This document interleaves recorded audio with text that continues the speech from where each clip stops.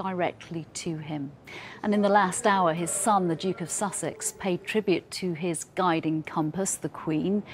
Harry also saying he now honours his father in his new role as King Charles III. An important day then politically and constitutionally for the King and also personally. Later today, he will fly to Edinburgh, where, with his siblings, he'll follow his late mother's coffin into St Giles Cathedral for a service. Right now, for the King, though, the focus is very much on the capital. Following this morning events with me are two experts who have spent years writing about and observing the new King the broadcaster Jonathan Dimbleby and the writer Catherine Mayer. First, though, let's speak to our political editor, Robert Peston. Robert, MPs and peers already taking their seats in Westminster Hall for this historic moment. Yeah, I mean, we are witnessing so many important constitutional moments during these days of mourning. This one of the most important in Westminster Hall, almost a thousand years old, uh, been at the heart of the way this country has been run for pretty much all that time. It was uh, the place where the sort of top court of the land sat for hundreds of years. The conspirators, led by Guy Fawkes, who tried to blow up Parliament, were tried there. Uh, King Charles III's predecessor, King Charles I, was tried there prior to that brief time that we had as a country as a republic. Um, today, the Prince, oh, sorry, excuse me, King Charles uh, will hear messages of condolence, uh, addresses from the Speaker of the House of Lords, Lord McFall, and the Speaker of the House of Commons, Lindsay Hoyle, and he will then address some 900 Lords and MPs. Robert, this is the uh, start of the King's tour, the new King's tour. There is some confusion this morning, wasn't there, over Liz Truss, the new Prime Minister, joining him on the tour. What, what can you tell us about that? Well, she will be physically present with him as he goes around the country and she will attend the various services that uh, he will be at. But I think there was, I think the sort of thought around both the palace and Downing Street was there was a bit of sloppy language used when they originally talked about her role in all of this. They originally talked about her joining the tour. Let's be absolutely clear, clear. this is King Charles III's tour. She is going very much in a subsidiary, supportive role. Uh, Robert, thank you very much uh, for now. We're just seeing pictures there as the, uh, the proceedings are taking place at Westminster Hall. Uh, uh, Jonathan Dimbleby, this uh, historic place which has seen many, many historic events over the year, and now it's seeing this, the new king, um, going to the Houses of Parliament for the first time in his role as monarch. Yes, and a very important symbolic event. I've been thinking, watching all these ceremonies, which of course have never been seen before by any of us in the public, how important they are. They're part of the, the fabric of a state, of a constitution.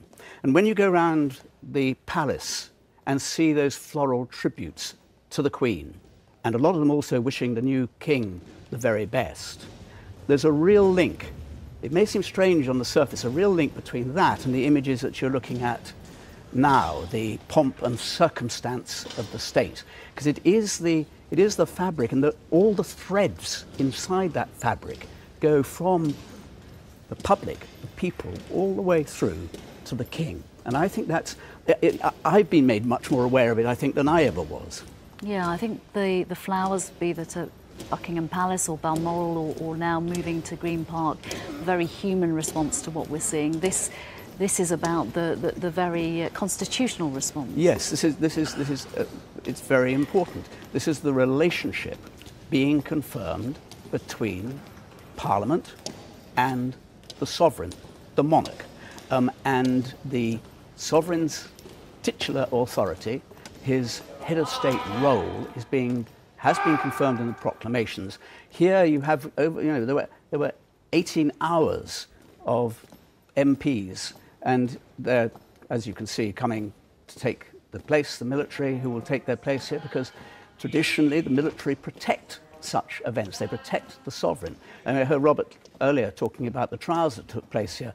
For most of its time, this ancient hall, which was 11th century, was actually a place where coronations were celebrated. It's been through the most extraordinary times. It, it was very nearly burnt down in 1941, that is actually intact from the 11th century uh, when um, uh, the uh, second, William II um, uh, said, I want to have a major hall. And he actually said it was too small when it was being built. It's, it is huge if you've ever walked through it, and many members of the public have.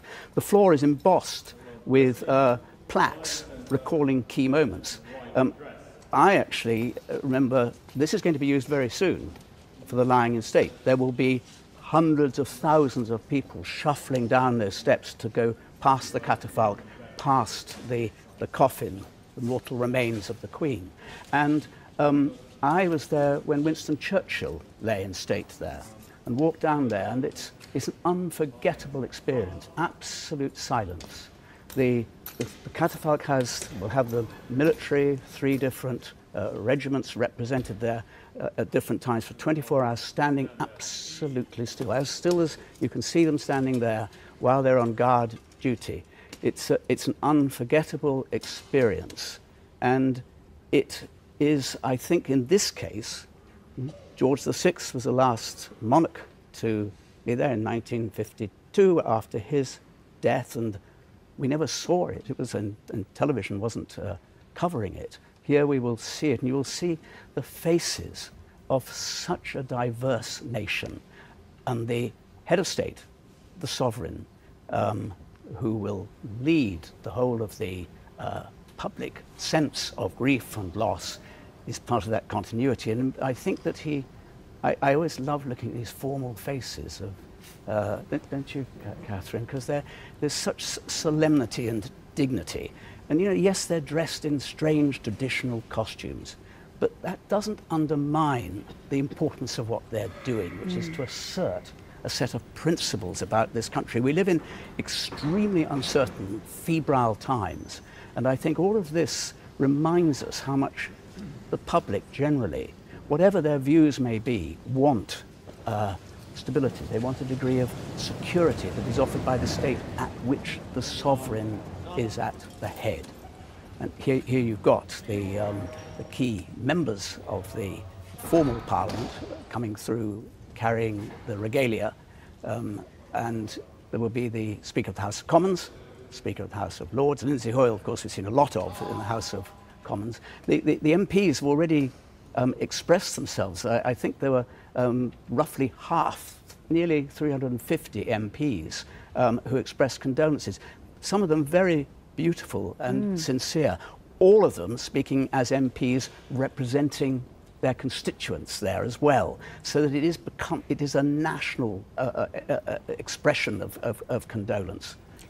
Catherine, we saw that the other day. Today will be very different, won't it? Because they will be expressing their condolences directly to the new king. We, we saw Margaret Beckett, uh, the Labour MP, visibly upset. Um, and uh, today already this, this Westminster Hall that we are focusing on, that we were showing you pictures of right now, uh, a scene, as, as uh, Jonathan was saying, of, of great serenity. Yes, well, we're seeing, as he was also saying, two different things here. We're seeing the constitutional moment, and a lot of that often goes un, unnoticed, unseen. People don't understand the way that, that Parliament and, and the sovereign interact, and it's not that often that you do get to see it.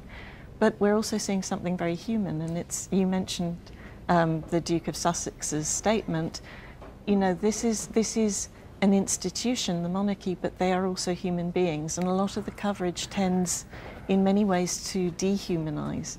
And I think in all of these moments, there's a kind of poignancy in people who are grieving, also carrying out these, these uh, procedures and processes. I, I think it was when Harry, in that statement said that he pledged his loyalty to the king. I think that was quite significant. It follows on from the king saying that he loved his, his, his, his, his, his, his son and his wife. And um, I think there may be some who hope that because of that, the, which has been much publicity in the, in the press, uh, the, the autobiography that he has been proposing to write may not find a need for a publisher, if I put it like that. We, we, we, will sh- we shall see. We're just watching now images of the Commons Speaker Lindsay Hoyle uh, joining uh, this uh, this event, the first um, stop on the, It- the tour. It's as we extraordinary, isn't it? When you look at this, you think of all the hundreds of people, maybe more, who are involved in creating it so that, I mean, I, maybe there are other places in the world who can do it like this, but the extraordinary order, precision, mm. the unfolding of the event, huge organization, huge preparation, but like all great events, you can rehearse as much as you like, but it's like a play. Once you're on the stage, you're not quite sure whether it will all work. It's working so far.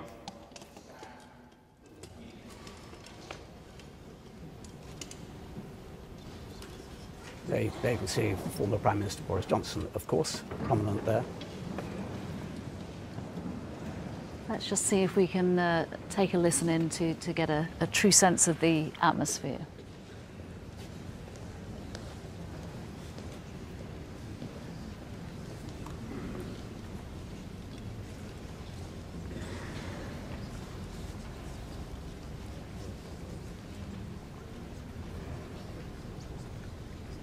Just getting a flavour there of, of the atmosphere in Westminster Hall. Um, I just want to uh, bring you both back to uh, the statement we've both mentioned um, uh, from the Duke of Sussex that we've had in the last hour. Let me uh, read you part of that statement. Uh, the Duke of Sussex said, I am forever grateful for all of our first meetings, from my earliest childhood memories with you to my meeting you for the first time as my commander in chief, to the first time, the first moment you met my darling wife and hugged your beloved great grandchildren.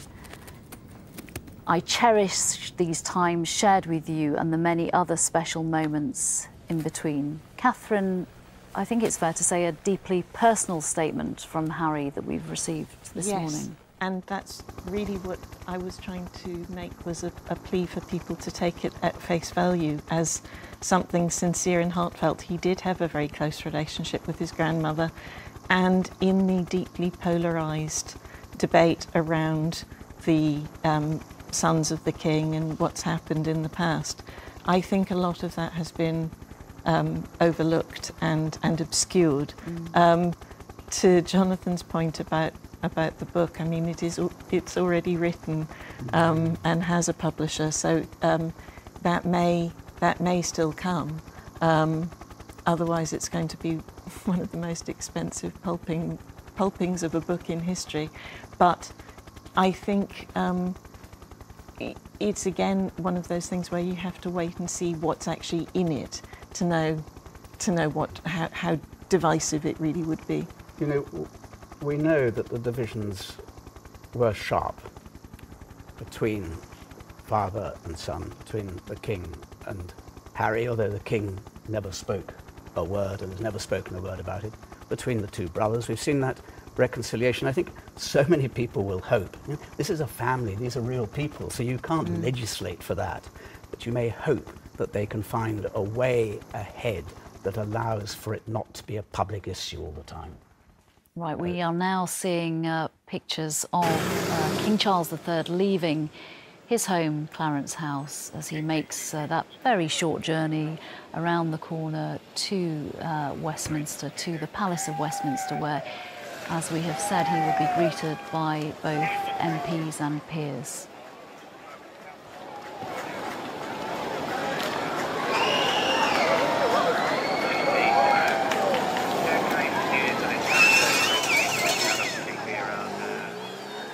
Greeted to uh, cheers from the crowds who are waiting to see him there. Jonathan Dimbleby, uh, this is the first stop on the King's tour. Um, why do you think it is so important to him that he is touring this country, the four nations of this country? I think it's exceptionally important. Um, there is no doubt that he cares strongly about all those nations, and he's visited them as Prince of Wales again and again and again. It's a reaffirmation of their separate identity within the United Kingdom. he, I'm sure, wants to make it absolutely clear, which symbolically these visits will do, that he is the King of Scotland as well as the King of uh, the United Kingdom, that he is loyal to Northern Ireland while being at the same time immensely sensitive and sympathetic to the divisions that there are in Northern Ireland. And in Wales, where he be became Prince of Wales and spent a lot of time and spends a lot of time still, um, he, it's a way of asserting we are in this together, however different we may be, and I am here for you, and I will be here for you, whatever happens, whatever happens in Scotland, whatever happens in Northern Ireland, whether there is in Northern Ireland a referendum, um, which conceivably, and some people think it will in due course, lead to the uh, reunification of North and South, whether in Scotland there is uh, a referendum which some think may be unstoppable in due course, uh, which could lead to a separation there. But he is nonetheless there mm. for Northern Ireland. He's there for Scotland as he is there for Wales. So these are important symbolic statements early in, early in the reign, very early in the reign. It's a, think of the strain on the man. He's going through personal grief, we've seen in his eyes and his voice. And yet, we've been watching over these last days non stop public duties. Mm. I mean, I just think, wow, what a guy. The, the role of the monarch is, is intended to be one as a unifier, and this is a moment where all impulses are towards disintegration. So, when you're talking about the different nations of the United Kingdom, it is potentially a disunited kingdom. He has actually really quite a tall order. I, I spoke to a lot of people in Scotland when I was working on the latest edition of my book, and there, there was this huge residual affection for his mother there, which was quite separate from politics. It was sort of, mm. it was quite separate from, from any kind of nationalist movement. He does not have that same leeway, and so this is also the, the importance of this trip is, is entirely around um, building a new relationship and, and asserting his value within those countries. I, am sure that's right. And we heard um, today, I mean, it's been repeated, I mean, the Scottish National Party said he will be King of Scotland whatever happens. So it's perfectly natural progress.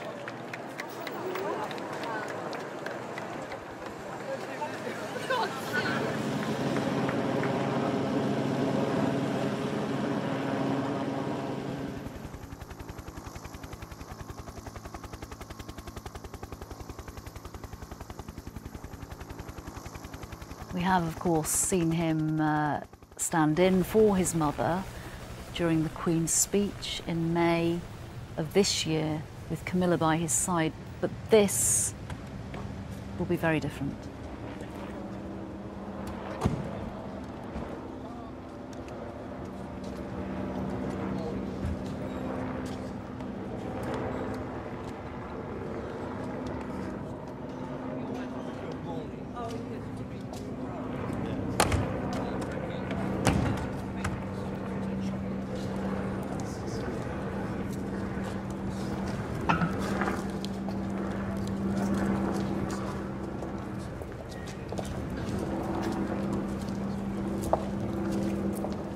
Is a very big moment. The first time that the King goes into Parliament as King to address Parliament.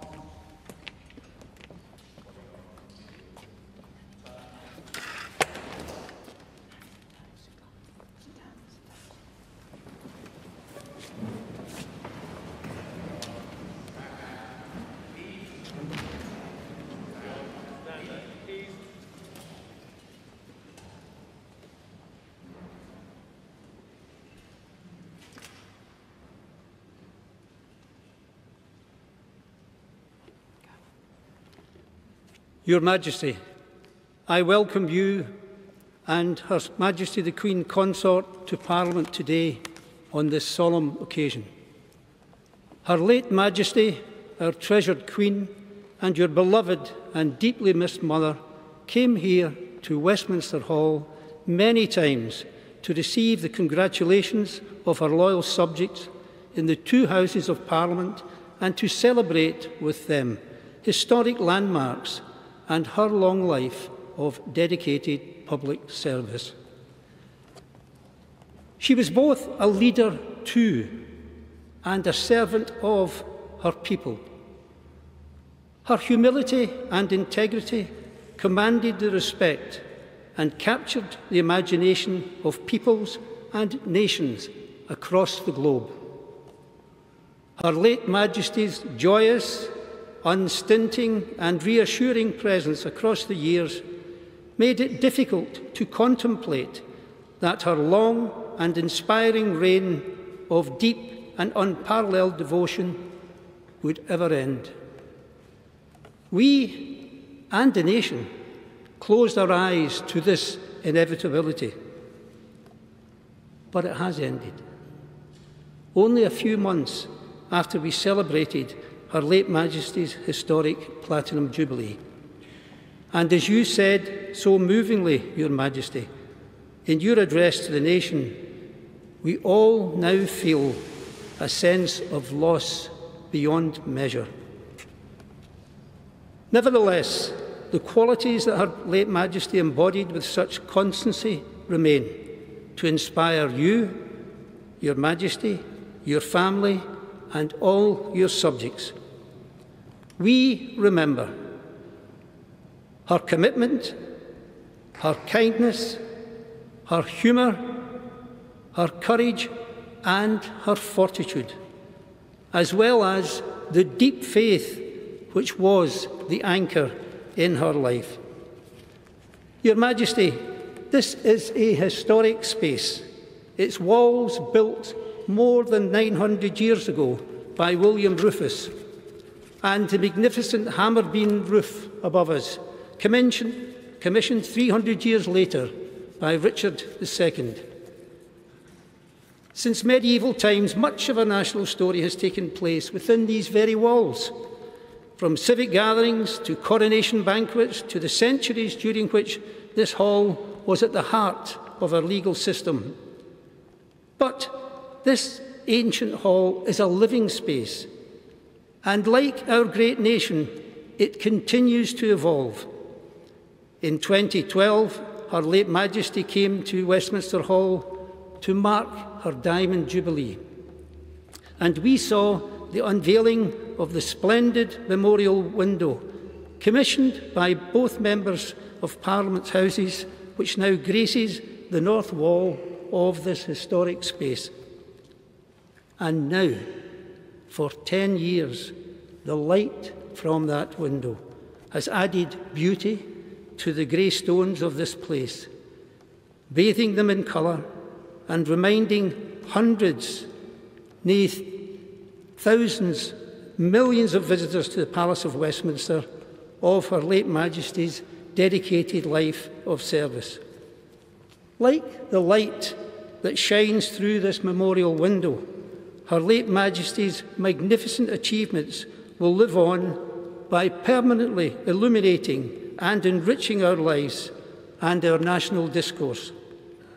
Your Majesty, even as we mourn the loss of our dear Queen, we and future generations will draw strength from her shining example.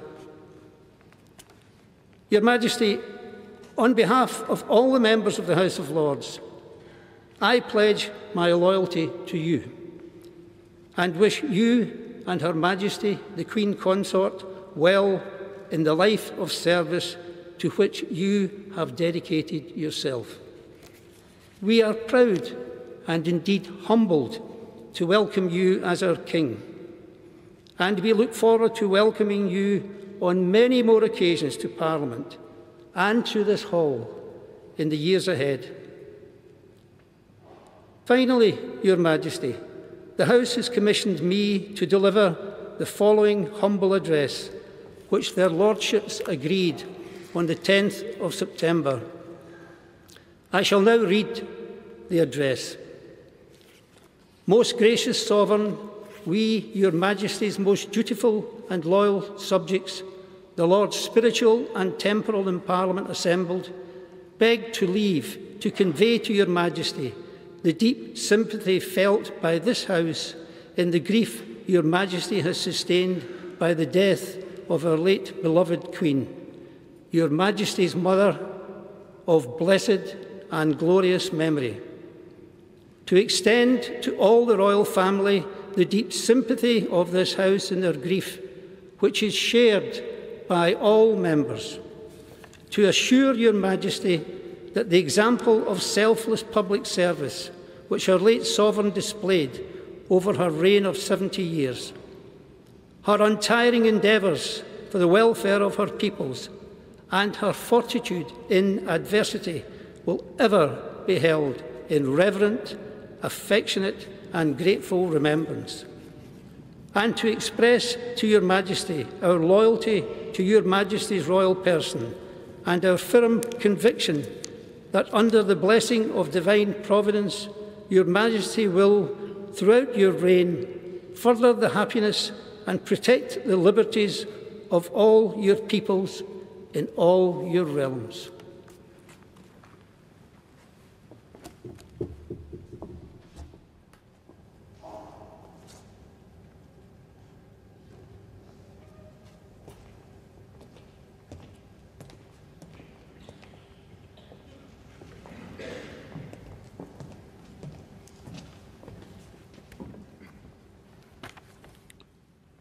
Your Majesty, let me repeat a welcome to you and to Her Majesty, the Queen Consorts. On this solemn occasion, members of both Houses of Parliament gather here to express our deep sympathy for the loss we have all sustained in the death of our Sovereign Lady, Queen Elizabeth. We have seen that this is a loss that is felt around the world. It is a loss to the United Kingdom, the overseas territories, the Crown dependencies, and many countries over which she reigned. It is a loss to the entire Commonwealth, which she did so much to nurture. It is a loss to all of us, but we know, most of all, it is a loss to you, your Majesty, and to the royal family. Newspapers have been filled with photographs of Her late Majesty since the news broke. The most touching have been the glimpses into the family life which we usually kept sheltered from public view. Deep as our grief is, we know yours is deeper. We offer our heartfelt sympathy to you and all the royal family. We know that there is nothing we can say in the praise of our late Queen, your mother, that you will not already know. Over the past days, members of the House have spoken of their encounters with Queen Elizabeth. They have spoken of her sense of duty, her wisdom, her kindness, her humour, how she touched the lives of hundreds of thousands of their constituents in her visits to every part of this country. Their words have been heartfelt. She sat in this historic hall, as you sit now on many occasions. Some of those occasions were to celebrate milestones in her own reign. The addresses to celebrate her silver, golden, and diamond jubilees shared a common thread that our constitutional monarchy is a symbol of stability in a never changing world. As Speaker Boothroyd said, Queen Elizabeth's wisdom and grace demonstrated for all to see the value of a constitutional monarchy in securing the liberties of our citizens and the fundamental unity of this kingdom and the Commonwealth. On other occasions, our late Queen was here to mark the historic moments, such as the 50th anniversary of the Second World War, a war in which she herself served in the armed forces and in 1988 we celebrated the 300th anniversary of the revolutions of 1688 to 1689. It is perhaps very British to celebrate revolutions by presenting an address to Her Majesty. But those revolutions led to our constitutional freedoms, set out the foundation for a stable monarchy which protects liberty. In your first address to the nation, you recognised your life would change as a result of the new responsibilities. You pledge yourself to uphold constitutional principles at the heart of our nation. These are weighty responsibilities, as the early Queen Elizabeth said in her final speech to parliamentarians. To be a king and wear a crown is a thing more glorious to them that see it than it is pleasant that them that bear it. We know you hold the greatest respect, the precious traditions, the freedoms and responsibilities of our unique history and our system of parliamentary governance. We know that you will bear those responsibilities which fall to you with the fortitude, dignity demonstrated by Her late Majesty. When the House met at the Accession Council, my first symbolic act was to make the oath to be faithful and bear true allegiance to your Majesty, King Charles. And so it is my duty to present our humble address to you, our new King, to express both our sorrow and loss of our Sovereign Lady and our confidence in the future in your reign. Most gracious Sovereign, we, your Majesty's dutiful, loyal subjects, the Commons of the United Kingdom of Great Britain and Northern Ireland, in Parliament assembled, express deep sympathy, felt by this House for the great sorrow which your Majesty has sustained by the death of the late Queen, your Majesty's mother. Extended to all the royal family the deep sympathy of this House in their grief, which is shared by all its members. Assure your Majesty that Her late Majesty's unstinting dedication over a reign of over 70 years to the service of our great country and its people, and to the service of the countries and the peoples of the rest of the wider Commonwealth, which will always be held affectionate and grateful remembrance. And to express to your Majesty our loyalty to you and our conviction that you will strive to uphold the liberties and to promote the happiness of the people in all your realms, now and in years to come.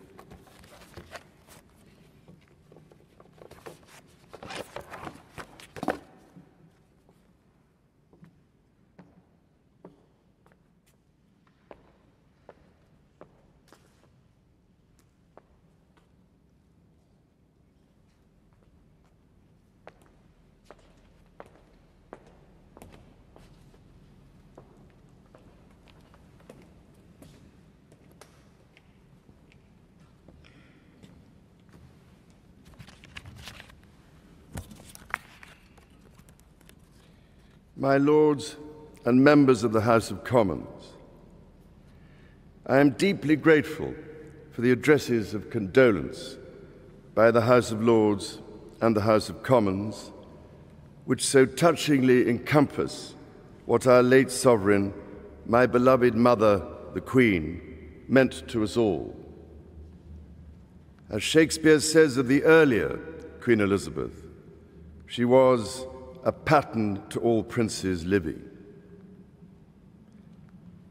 As I stand before you today, I cannot help but feel the weight of history which surrounds us and which reminds us of the vital parliamentary traditions to which members of both houses dedicate yourselves with such personal commitment for the betterment of us all. Parliament is the living and breathing instrument of our democracy. That your traditions are ancient, we see in the construction of this great hall, and the reminders of medieval predecessors of the office to which I have been called, and the tangible connections to my darling late mother we see all around us, from the fountain in New Palace Yard, which commemorates the late Queen's Silver Jubilee, to the sundial in Old Palace Yard for the Golden Jubilee, the magnificent stained glass window before me for the Diamond Jubilee, and so poignantly and yet to be formally unveiled, your most generous gift to Her late Majesty to mark the unprecedented Platinum Jubilee, which we celebrated only three months ago, with such joyful hearts. The great bell of Big Ben, one of the most powerful symbols of our nation throughout the world, and housed within the Elizabeth Tower, also named for my mother's Diamond Jubilee, will mark the passage of the late Queen's progress from Buckingham Palace to this Parliament on, on Wednesday. My Lords and members of the House of Commons, we gather today in remembrance of the remarkable span of the Queen's dedicated service to her nations and peoples. While very young, Her late Majesty pledged herself to serve her country and her people and to maintain the precious principles of constitutional government which lie at the heart of our nation.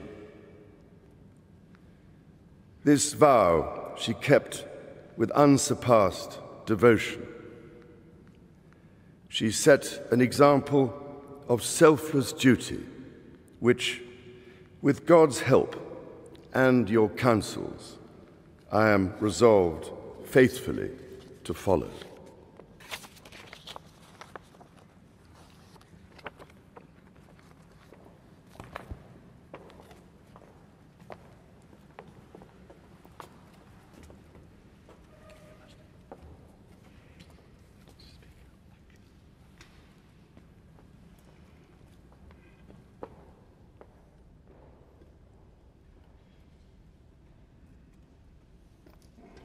King's bodyguard. King's bodyguard. Shut up!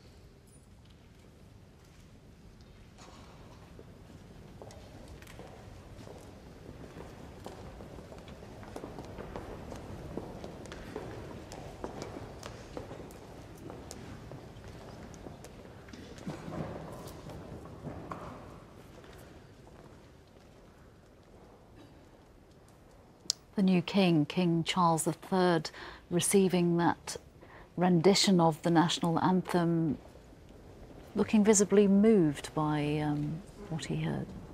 He was particularly moved, wasn't he, by the words of Sir Lindsay Hoyle. You saw his face as Lindsay Hoyle, on behalf of the members of the House of Commons, expressed his own sorrow at the suffering that the family is enduring at the moment. And this ceremony is really remarkable, unwitnessed by most of us ever before. And it is quite formal, it is quite uh, uh, uh, symbolic, totally symbolic, and yet very real, as he pledged his duty, echoed his mother's vow, which he said, she said she was resolved faithfully to, he said, I am resolved faithfully to follow in my mother's footsteps, the example that she set. And you, you look at this formal ceremony and you compare it with dictatorships, with other regimes which come brutally to power in one form or another, and the stability that this, this offers, whatever the evolving politics, whatever the ferocity of debate in the House of Commons, whatever the divisions in the country, provide, I think, what many people very, very much want. They're saying farewell now to uh, saying goodbye to Lindsay Hoyle there on the left, the Queen Consort. Um, and he now goes off straight away, virtually straight away, to Scotland for a very similar mm. ceremony uh, before he follows in Scotland the coffin into St Giles Cathedral. Catherine, I think watching that with you, there was a real sense of emptiness in the, the ancient Westminster Hall when he was listening to those tributes paid by both the Commons and Lords leaders about his late mother, knowing for all of us that she will not return there in life. This monarch who has reigned for seven decades, who has taken part in so many parliamentary events, the next time she does return to that hall will be in her coffin for the nation to have a focal point for its mourning for a period of days. And that was brought home by Lindsay Hoyle's repetition of all the different monuments and tributes there have been for the different jubilees. That longevity that allowed us to believe that she was immortal, which everybody is now grappling with in one way or another.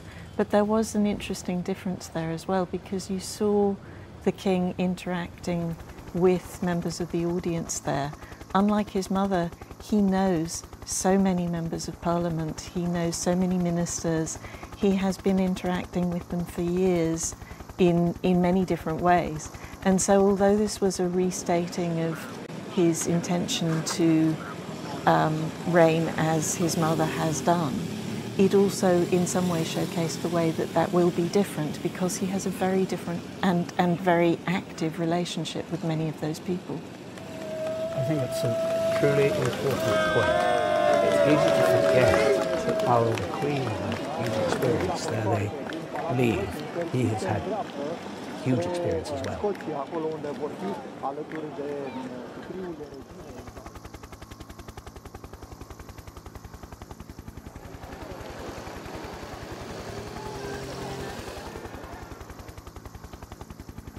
the new king uh, departing the Palace of Westminster to cheers from the waiting crowd there. are political editor was also watching the events that they have taken place this morning. Robert, uh, what did you make of what we've just seen? Just to underline uh, the point there made by Jonathan that uh, this is the first time we are being allowed to see what happens when the new monarch goes into the Houses of Parliament for the first time as monarch. Yeah, moving and powerful, and actually, in one important sense, actually unique in British history, in 1952, uh, when Queen Elizabeth took the throne, those humble addresses that we heard read out by the Speaker of the House of Commons and the Speaker of the House of Lords, they were actually delivered to Buckingham Palace uh, by officers of Parliament. This is the first time, in fact, that the uh, monarch has come to Westminster Hall uh, to receive those humble addresses. The most important element of all of this, of course, was quite apart from those sincere expressions of uh, condolence made by uh, lords and uh, MPs through their speakers, was the way that we heard uh, King Charles uh, say, as we all know, that the Queen dutifully uh, upheld a responsibility to underpin our constitution, underpin parliamentary democracy, and he vowed uh, in front of 900 lords and MPs to do the same. Uh, on, a, on, a, sort of personal note, I found it all very moving. My late father was in the House of Lords uh, for 30 years. It was a great honour of his life to, to serve in the House of Lords. He had no doubt about the importance of the way we uh, do government in this country, and it was stirring to see King Charles pledge uh, to uphold the way that we do, do democracy for the reason, actually, that Jonathan Dimbleby just, just said, which is here we've got crowds on the street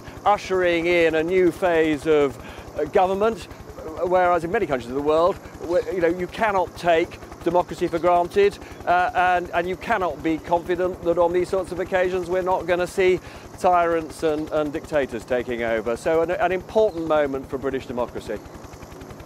Robert, uh, thank you. Um, we have seen, haven't we, Catherine, throughout the last few days since the news was announced of the Queen's death, that when we have seen the new King, he has had Queen Consort Camilla beside him.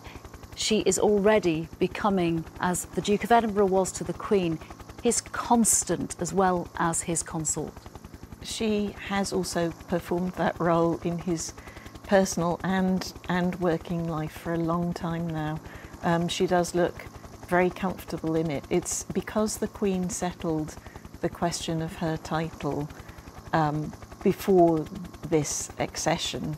That removed really the last controversial aspect to what she would be, what role she would perform. Um, I uh, know her actually really quite well and um, it's interesting for me seeing her in these ceremonial roles because she she is she's doing it very well. She's doing the thing of, of looking impassive in a way that she has to do. Um, but this is a woman who has used her own um, unexpected platform as his wife for very interesting purposes, um, in, including um, dealing with some really quite gritty issues around um, women, around, for example, violence against mm. women. Um, and she too, we shouldn't forget that she too is having now to shift into a, a different phase. You know, one one hopes that she would continue her patronage and support for those issues, but she'll have to do it in a different way.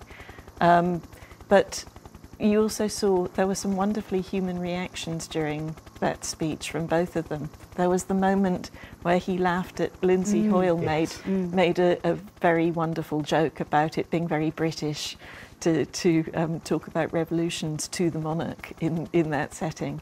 Um, a glimmer of light in, a, in, in what is very uh, very much a solemn day, I think. But she she also at the point where he talked about the weight of the crown. Mm she reacted because she knows so well what her husband, you know, don't forget this is a couple, um, a very loving couple, and she knows what he's going through.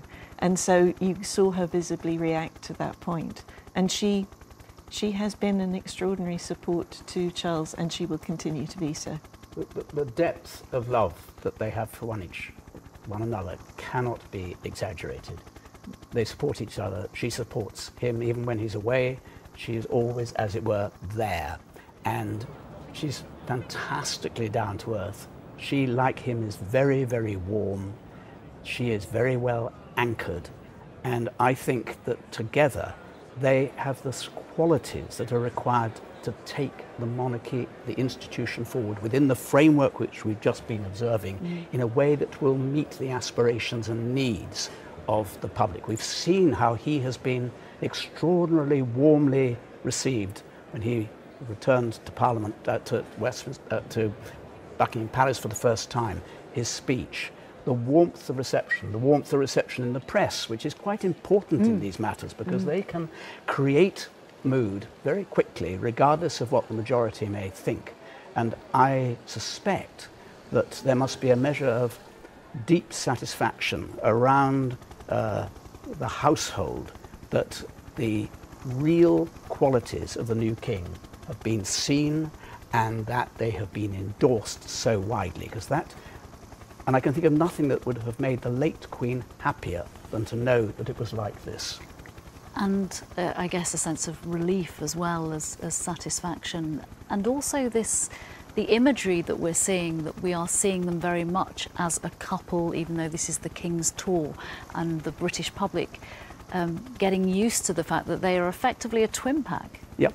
He, he refers to the whole time as my darling wife, doesn't he, as well as the, the Queen Consort, and she will be with him, I'm sure, um, a great deal, great strength. Uh, uh, as Catherine was saying, she's also got um, a great independence of, of activity, which is fantastic because it isn't self-serving in any way. Mm. You never think she is trying to steal any limelight from him. They are a genuine partnership, and she knows, of course, that hers is, in formal terms, as Queen Consort, the subsidiary role. But there's no sense of any um, who am I or who is she. Mm. We we get her. I think we get her very easily. I think they actually, um, the way she walked there, I mean, I may be reading too much into this, but she was only very slightly behind him. You know, that there is, of course, this convention that the consort trails behind the sovereign, and they looked like a partnership. They did mm. not look like um, a, a subservient um, wife there. And and you know knowing everything I know about her dedication to feminism she would not have wanted to do that. The uh, optics all important there. We're just watching pictures now as the the king and queen consort that we've just been discussing are on the move away from Westminster. They are now making uh, their way uh, on, on their long journey, uh, obviously not uh, doing that by car, but this part of the journey by car to Scotland as the next stop on the King's tour. Um, they are heading, as we've spoken earlier in the programme, to Edinburgh, um, where the King will be reunited with his siblings and eventually where he will follow his late mother's uh, coffin into that service at St Giles Cathedral. Our correspondent Neil Connery is in the city of Edinburgh for us this morning. Uh, Neil, can you take us through exactly what we are expecting uh, to happen later there today? Well, as you say, the eyes of the world in the coming hours will be focused on Edinburgh. As we know, the Queen's coffin has been lying in rest overnight in the throne room of the Palace of Holyrood House uh, behind me. Uh, later on this afternoon, there will be a ceremonial procession from the palace up to St Giles Cathedral. Of course, that will only begin once King Charles III and the Queen Consort have arrived here in Edinburgh, uh, joining other members of the royal family. That procession will head up, as I say, to uh, St Giles Cathedral, the High Kirk, the parish church, if you like, of the uh, old town of Edinburgh for a service of uh, prayer and reflection. Now, after that service, uh, members of the public will be able to file past uh, the coffin as the Queen uh, lies in rest uh, inside uh, the cathedral for a period of around 24 hours before the Queen's coffin is then taken to Edinburgh Airport and flown back by the Royal Air Force to RAF Northolt in London. Neil Connery, thank you very much. Um, just returning back to the events that we've seen this morning in London where the King as monarch went to Parliament for the first time in his reign since the passing of his mother on Thursday. Uh, tributes today from both the Lords and from the Commons. The Lords leader, Jonathan, uh, paying tribute, uh, talking of the Queen's commitment, her kindness, her courage, and her fortitude. King Charles saying he wants to follow in her selfless duty. He has got an incredibly hard example of duty to follow, hasn't he? It is a, a, a, an enormous challenge, and he would be the first, he said it, to accept that that is the case. However, I have known the King for now over 30 years, quite well. And I venture to say that the qualities that the Speaker of the Lords identified in the Queen are embedded in him as well, and that he will do exactly what he says in that vow to follow in her footsteps for as long as he is given on this earth. And we are, we are witnessing, we are all part of a great history. It will soon, inevitably over the days, become our past history, but it is also our future, and it's the future of this uh, state, this nation which is very uncertain. We don't know where it goes. The one constancy is that that uh, down there, those vehicles that are moving, taking him to Northolt, contain an individual who will do everything in his power and his very, very considerable ability, with his huge knowledge of the world and of this country, his passionate commitment to the deprived, his great commitment to the huge international problems that we face, which will be presented in different ways, what will be embedded in him in a way that I think will allow him, formally and informally, to earn the respect and indeed the love of a great many people. Catherine, uh, that sense of those qualities, we know the Prince as Prince. Do you think the British public is getting to see, is believing in those qualities like his mother as King? I do, and I agree with what Jonathan said. I would add something though. I think there is absolutely no doubt that King Charles will emulate his mother to the best of his ability. Any risks to his reign, to the monarchy, will come not from what he does now, but from the past or externally. There are, because he had such a very long apprenticeship as heir to the throne, and he was very activist in ways, in fact, that he talked to Jonathan about in, the, in Jonathan's very famous biography and, and then talked to me about. Um, there are there are aspects to what he did then that could yet be controversial. He will not court controversy now, um, and what you are seeing is him modelling his version of kingship, which does look, on the surface, remarkably like his mother's own version of being a sovereign. It will be a hard moment, though, on a human level for him to go to Edinburgh and to see his mother's coffin and to follow it into that service. We, we, we saw the expression on his face when his sorrow was identified by the speaker. Yes. Um, and he will walk behind that coffin. It will be hugely demanding. It's quite a long walk, and he will go behind that coffin to St Giles Cathedral thinking that is the coffin bearing my mother. He will also think I am the king of a large realm and I have duties in front of me to honour and I will do that and he will grit his teeth and he will do it and his family will be there in support and it will be another stage in this extraordinary pageant which we're following with such intensity.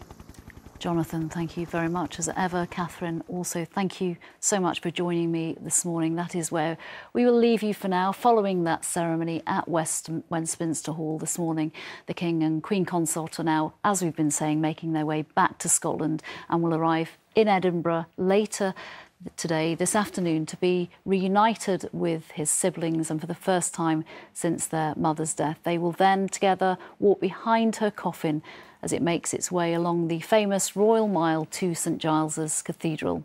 We will have full coverage on ITV of all the events here from one o'clock. But for now, from all of us on this historic morning in Westminster, goodbye.